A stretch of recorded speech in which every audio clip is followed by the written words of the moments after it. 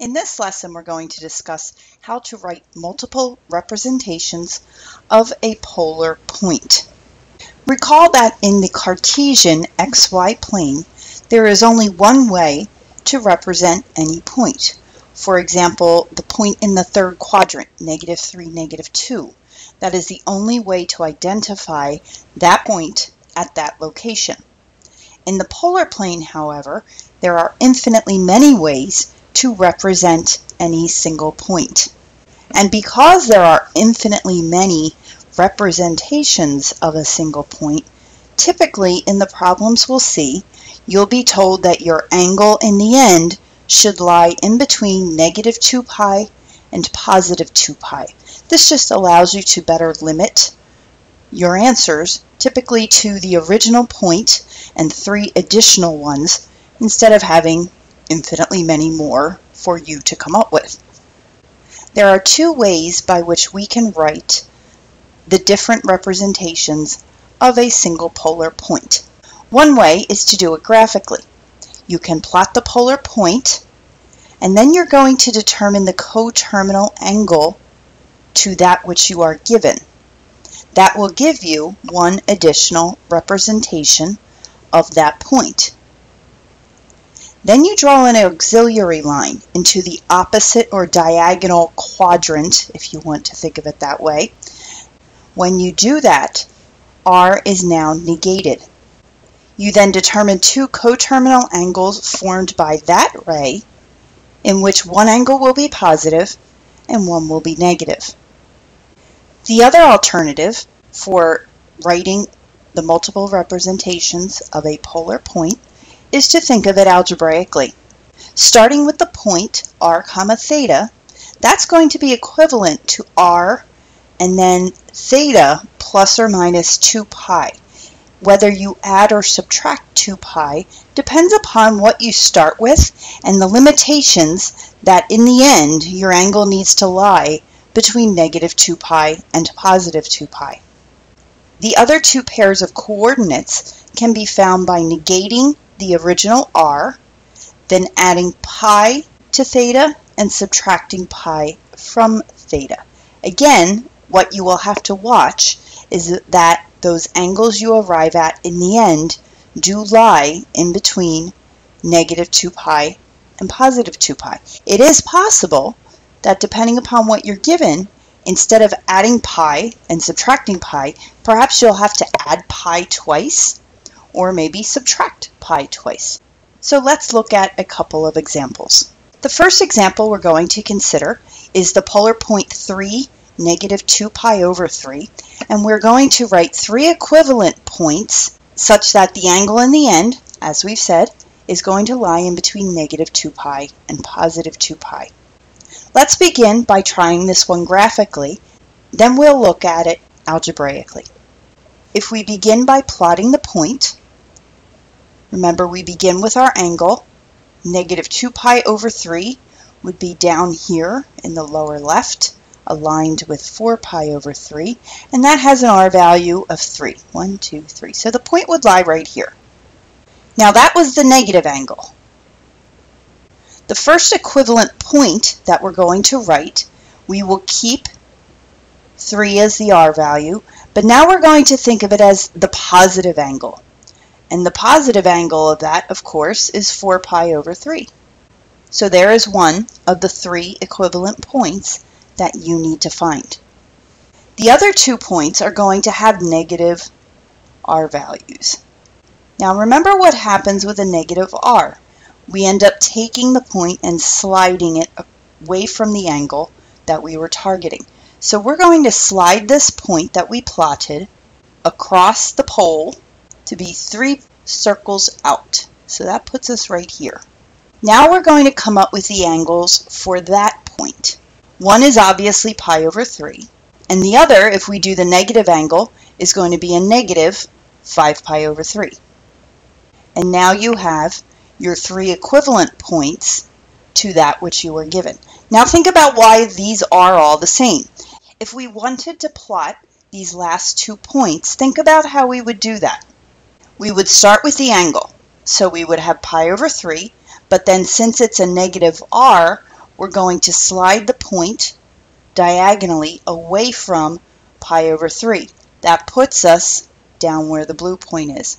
Likewise, if we were to plot the point with the negative angle, we would have a negative 5 pi over 3, which would be up here.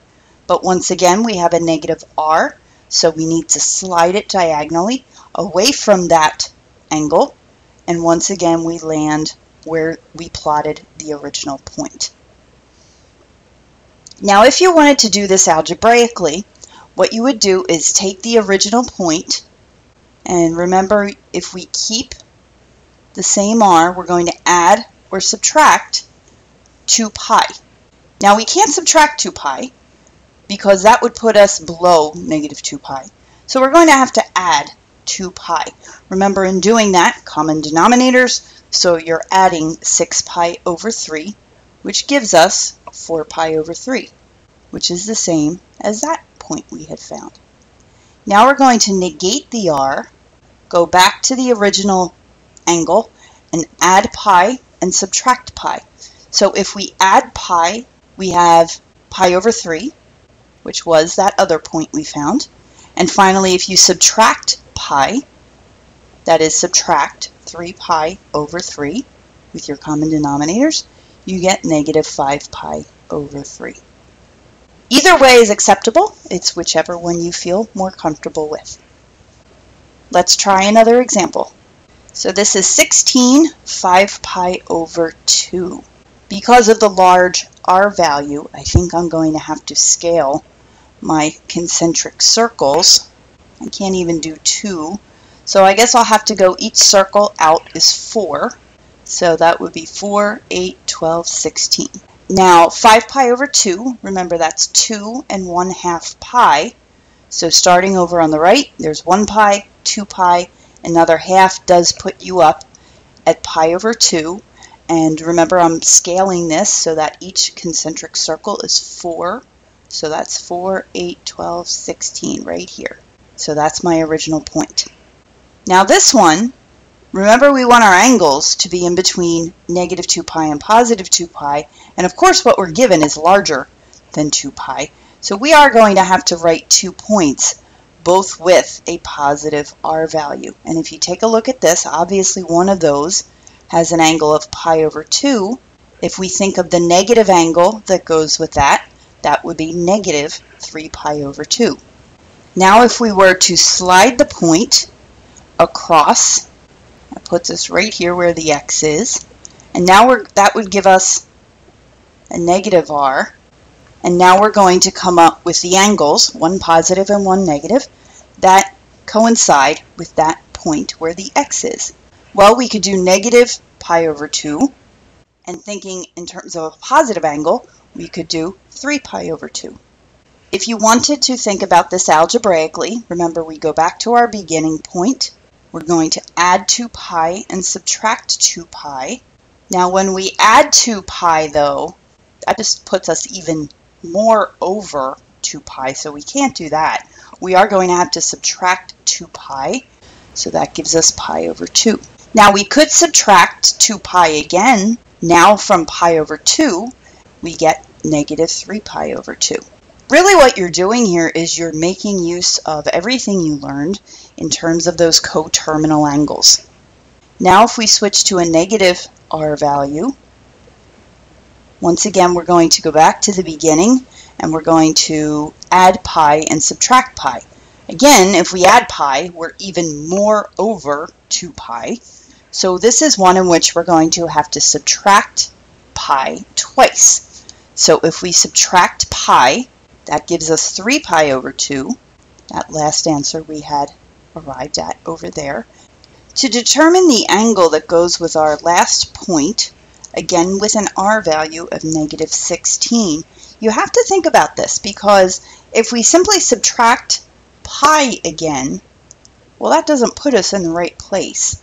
We know that negative 16, 3 pi over 2 would in the end put us in the correct place. So this is one you do have to think about a little bit and you might just have to come up with something coterminal to 3 pi over 2, which of course would be negative pi over 2.